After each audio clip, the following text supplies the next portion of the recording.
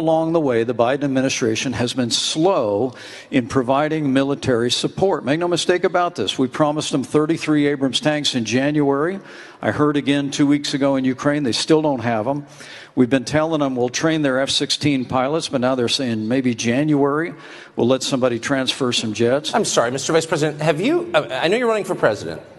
You are, distra- you. you are distressed that the Ukrainians don't have enough American tanks every city in the United States has become much worse over the past three years. Yeah. Drive around. There's not one city that's gotten better in the United States. And it's visible. Our economy has degraded. The suicide rate has jumped. Public filth and disorder and crime have exponentially increased. Right.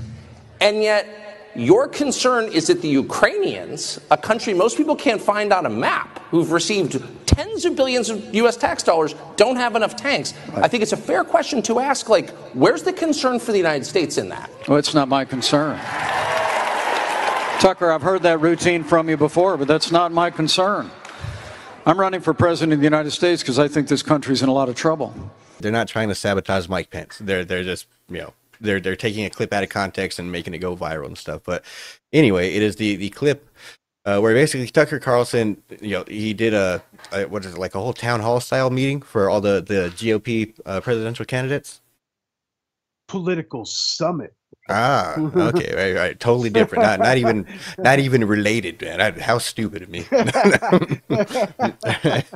right, but anyway, so they they do this uh this whole thing. Um, from what I hear, it's it's seven hours. I still haven't watched it yet, but um, I'll probably get around to watching some of it. But there's there's a lot of uh, good clips floating around right now, and one of them is uh, Mike Pence. He's being interviewed by Tucker Carlson, and Tucker Carlson asks him.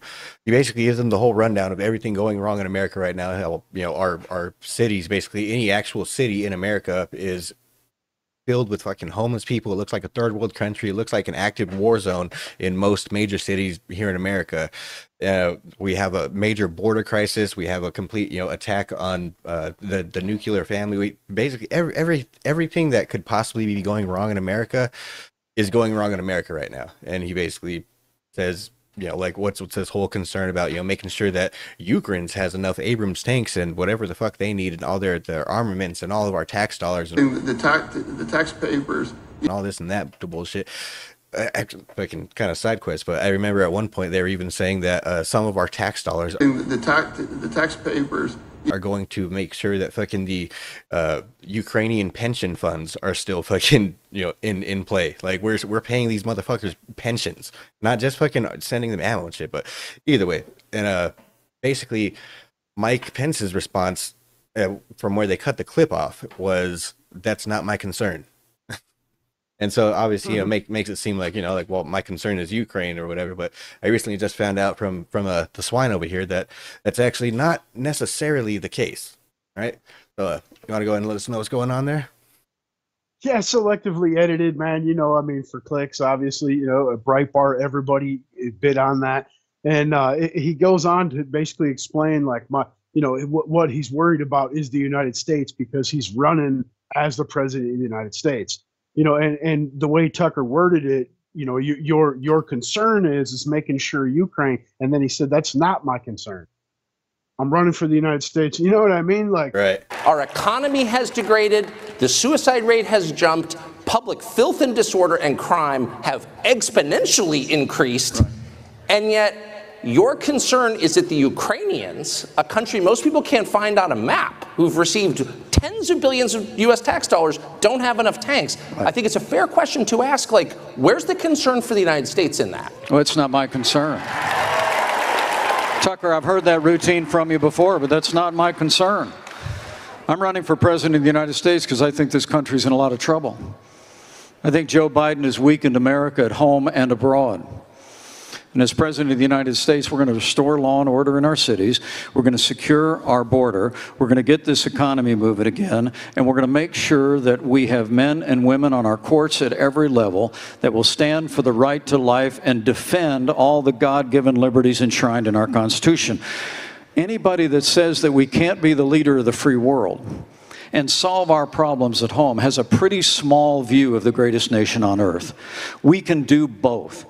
And as President of the United States, we will secure our border, we will support our military, we will revive our economy and stand by our values, and we will also lead the world for freedom under my administration.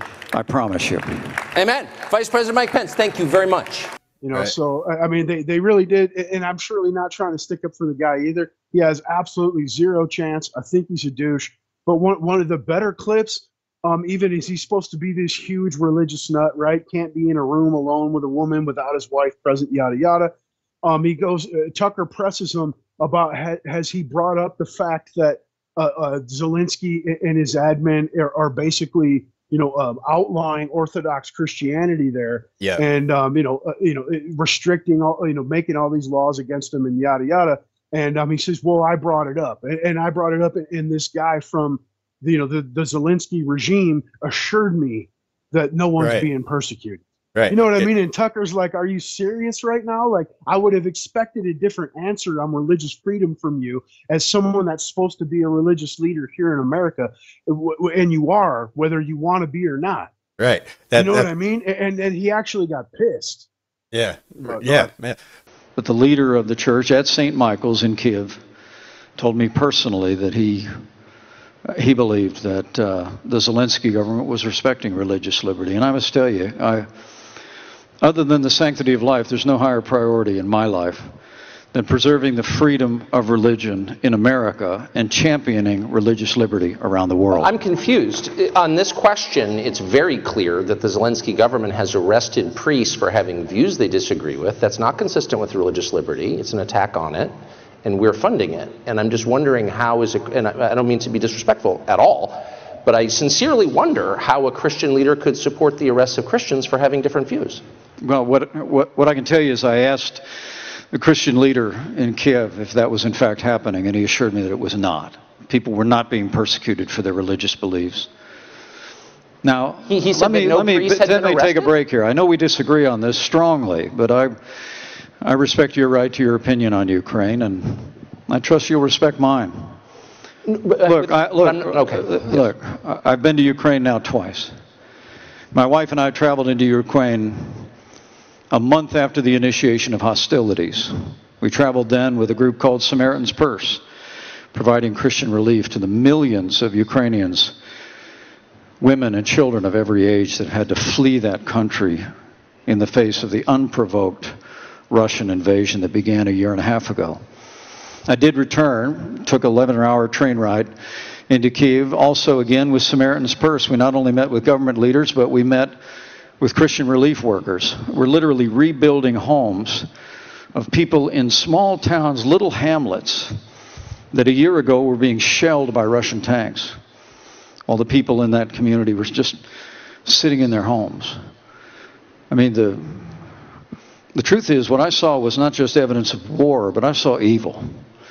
And I believe that it is in the interest of the United States of America to continue to give the Ukrainian military the resources that they need to repel the Russian invasion and restore their sovereignty.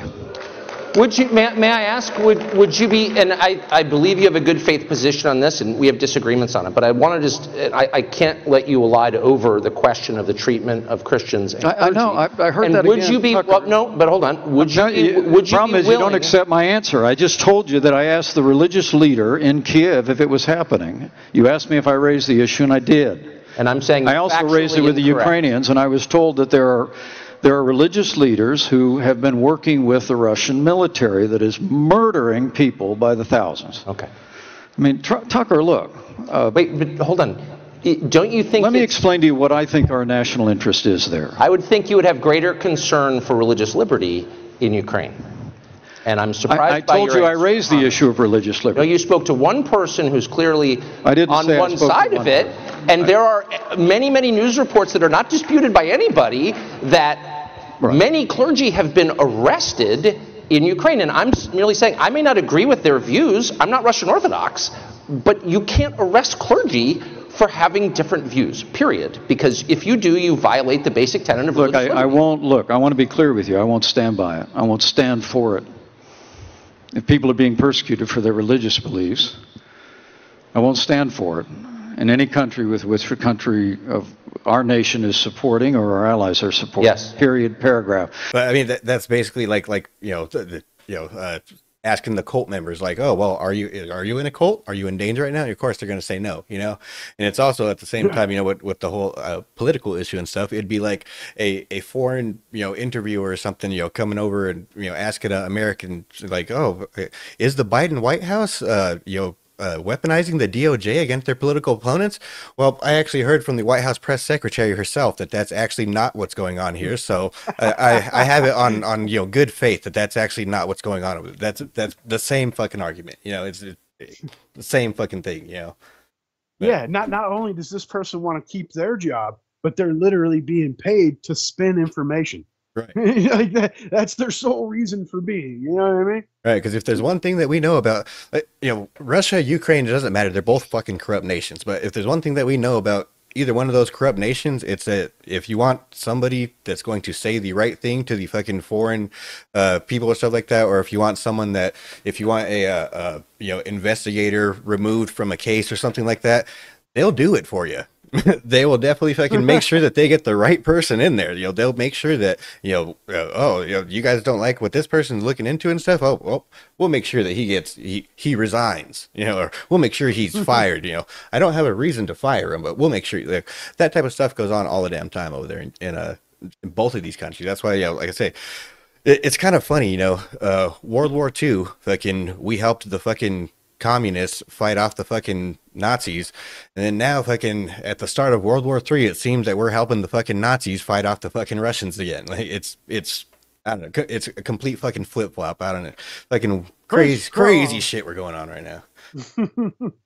but uh yeah but, and, but but back back to the Pence thing though what a weird fucking guy dude huh right. you see the way like he wasn't even like looking at Tucker mm-hmm. when he's talking. Like I, I, didn't even see him look at him until the end when they gave the handshake, and then he made then he made sure to have like a weird prolonged eye contact. Right. you know what I mean? He's just a weird fucking guy, bro. Yeah. And this was a worse moment than uh, the debates in, in, in in 2016 when he had the fucking fly on his face. You know, the the entire duration, bro. Yep. yeah, I mean, like like I said, you know, the dude's polling at fucking one percent, probably even less now that you know this clip has been going viral. Uh, the dude has no fucking chance. Uh, did you see the fucking uh, the Razorfist rant about fucking? You just put it out a couple hours ago, right? dude. My favorite part yeah. of that was fucking when he's talking about Chris Christie. He's like, the only chance this motherfucker has of getting into the White House is on a fucking forklift. Like, yeah, yeah he's great, man. He's on fire. Every one of his rants, dude. Right. Spot on. Right. Hey, Thanks for checking out this clip from the Liberty Bowl. Make sure you guys subscribe to this channel, hit that notification bell so you guys know whenever we go live, whenever we put out new videos. Make sure you guys hit that like video, uh, that like button if you guys like the views or opinions that you guys heard here. And make sure you guys stop by here Friday nights, 10 o'clock Arizona time. If you'd like to come by, hang out, smoke with us, chat with us in the comment section, and have a good time. We appreciate all of you. Don't forget to like, subscribe, share this video out. Fuck off.